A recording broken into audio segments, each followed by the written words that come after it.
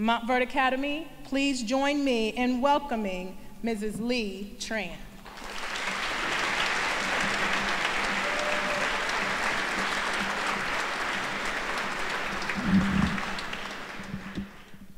Surround your life with positive people, with inspirational people, and that will excel your life.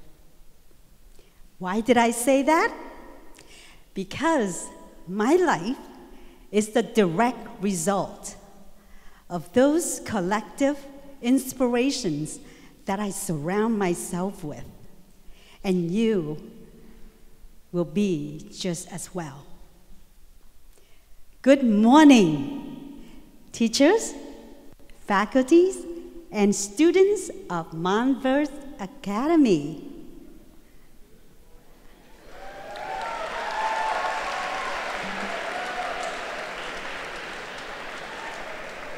What a beautiful sight. I grew up in school uniform, and so is my son. So this is a beautiful, nostalgic feeling that I haven't experienced for a while. Thank you for having me here to honor the Women's History Month and also to give me the opportunity to share my story with you.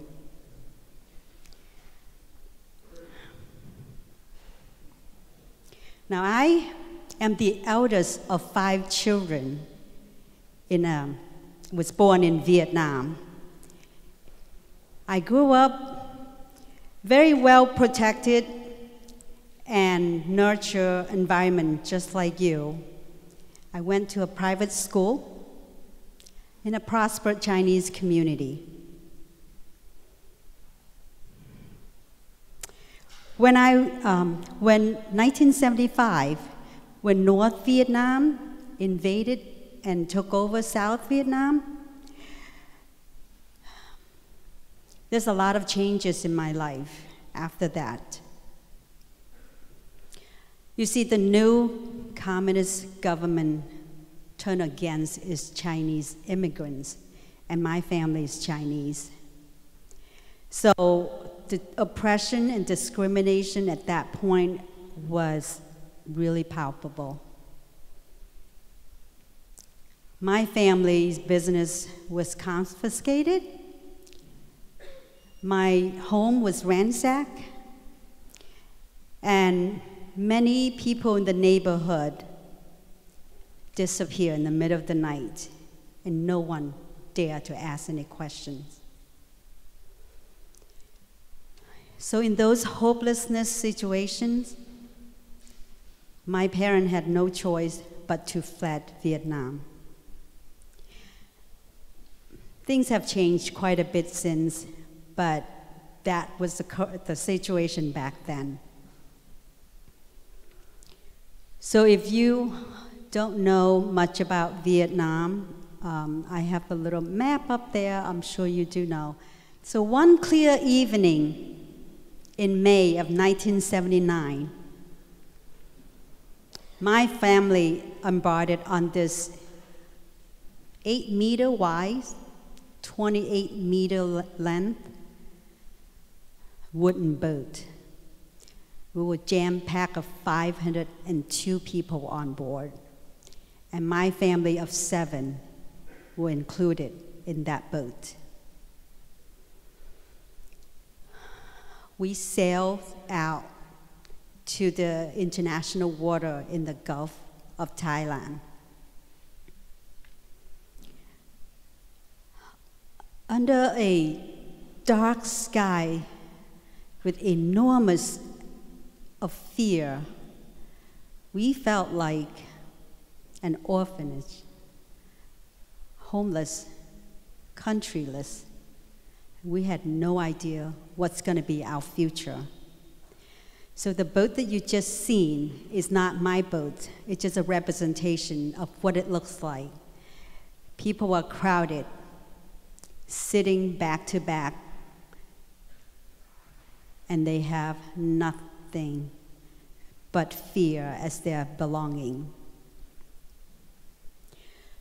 So the next day, when we're out in the vast open sea, someone spotted a moving object from a distance, and we were so excited. We were chasing after that boat, hoping that they're going to rescue us. But when we got closer, they jumped into our boat with guns. We had no idea we were chasing after pirates.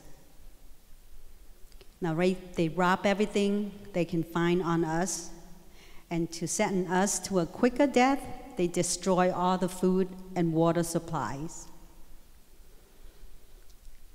And the next following days, and the next following days, we encounter three more rounds of pirates.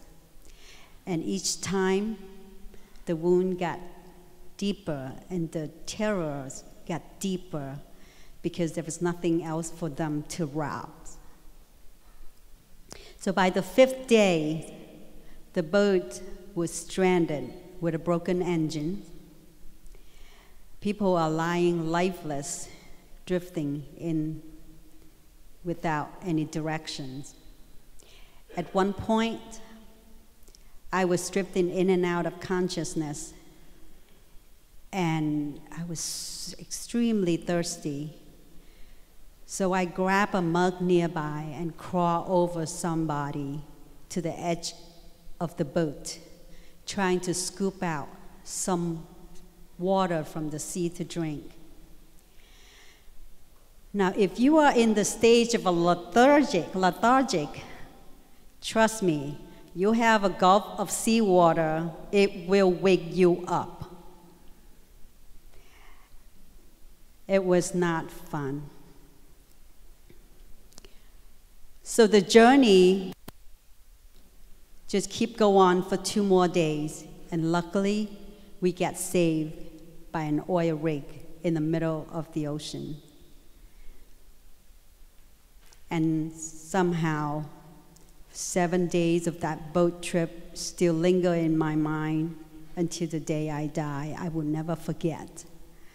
And the seven months following, in the harsh condition in the refugee camps in Indonesia, super crowded. Now, some night I'm still waking up feeling that fear and that stench from the boat, from all the vomit and the, the raw humanity. It just did not go away, and fear just grabbed onto me, and I couldn't let go. So if you want to know more about my story, it is on the TEDx talk under TEDx Eustis, and just search my name and um, look for I Did Not Miss the Boat. So trauma and fear like that had held me back. I was afraid of doing things. I was afraid of risk. I was afraid of being visible. I was 16 and 17, just like you are now at one point. Coming to this country, brand new, didn't speak the language. Culture is shock. Everything is different. Compound with the fear, I withdraw I didn't really excel myself. I held back. I wish, I wish I could be brave back then. I wish that I could get inspiration from my friends, my classmates, my teacher. It would have helped me tremendously to grow a lot faster. But you see, I gave myself permission because I thought, I'm nobody. I'm lucky to be here. And that just wrong. But luckily, I'm a late bloomer. Better late than never, right? So in my adult life, I'm starting to excel out a little bit in college. I surround myself with people that who inspire me And out of college, when I have surrounded my friend, my coworker, it really boosts my self-esteem. And I think it's better too because when my English vocabulary is established more, my self-confidence grew a little more. So I want to tell you that sometime if you are in a new situation, if you are in a strange place, it's easy for you to sit back and say, I don't want to be part of it because it's much safer to stay where you're not being seen or heard. But the truth is, you are making a world of difference by just learning from people around you or even just be yourself and inspire other. And it took me a long time to learn. And one of my friends, I will always remember, she said, Don't do things because you're afraid. I mean, do things, hold on. do the things that scare you, but don't do it for no reason. Do the things that scare you, but excite you, and it will change your life to the point that you cannot afford not to do it. And it took me a long time to get that. You know, my English wasn't good enough, remember? so it took me a while to understand yes, if you have a purpose, if you have a goal, if you have a desire to do something that you know is going to change your life, so bad, but you're so scared. So it's a good, scary thing. Do it. Be that inspiration, be your fuel to challenge you to feel your action. Now, I'm going to tell you two short stories about my son and my nephew who still inspire me. You guys are all the inspiration here. You just don't know that. But adult can look at you and learn a lot from you. I know I learn a lot from my kids and my uh, nephew and niece's younger generation. So my son, who just recently graduated from college a year or so ago, when he was in high school, he wanted to go to a missionary with the school for a month in Panama and in Peru. And being a tiger mom, I like to nurture him in the nice environment, protected environment. And coming from the third world, I know how rough the condition would be for him. So, in a good way, yes, I want him to go, but in the reserve way, I rather not. I'd rather him go serve somewhere a little safer. But with his tenacity, he prevailed and he went and come out of it, he excelled so much. And with that, he carried on to college with that experience. So he explored another further by staying in staying in Mexico for a year, six months education and six months working there. Now he has to go on his own to look for housings, to look for job, but it's an opportunity to grow. And he inspired me so much that he's willing to do that, coming just like you in a nice, well protected environment. The next one is my nephew, Wesley. Now, Wesley is a high school senior at this moment. He will graduate in May, in June, like some of you. He is in the exploration on his quest of college. He applied to NYU Shanghai and got accepted. My sister just called me the other day and say, "Can you talk to Wesley? He's going to leave home for the next 4 years going to Shanghai." Now, mind you, my nephew is MIA, born in America, 100% almost American. He doesn't speak a phrase of Chinese, never been to China, and have not even visited the school. And if you know Wesley, he's a very homebound person. When he was young, he come to my home, stay overnight. He have to bring a picture of his mom and before he go to bed, he will look at the picture and then put it in his chest and cry, and look at the picture and cry. He could not stay away for a night or uh, a long day. But now he want to travel to the, the other side of the globe for straight three or four years. So I asked Wesley, why do you want to go so far? We came from all the way the other side over here. You could go for a year of exchange student. You don't need to go all four years. And his answer is, I have been sheltered all my life. This is the time that I want to explore. What an answer. Wesley is my newfound inspiration for courage. And I, I am learning every day from you kids.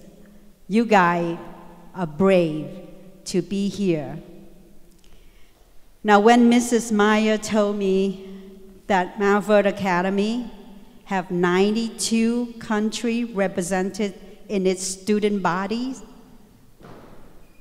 I was shocked from impressive. I am so proud to see such a diversity in this little Montverde in the middle of central Florida. This is incredible. You should be so proud.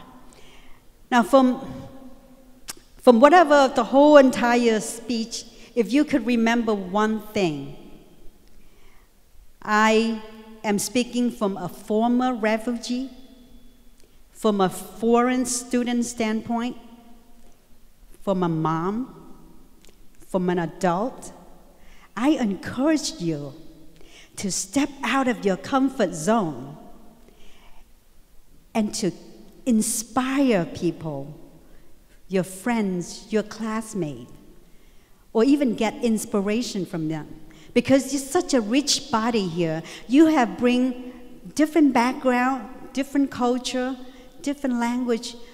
Everything is so uniquely of your own that you can share. And it's just that is just beautiful. And I really encourage you to do that. Be that inspiration to your friend. Now, Oprah have said that surround yourself with people who can lift you up. If they can't lift you up, at least they can inspire you. That's what my thought is. Because those inspirations are the food that fed your soul and bring you to the next level of success. And we need you as our next generation to take over this, to, to lead our country, to lead the world to a better place. And I thank you so much for having me here.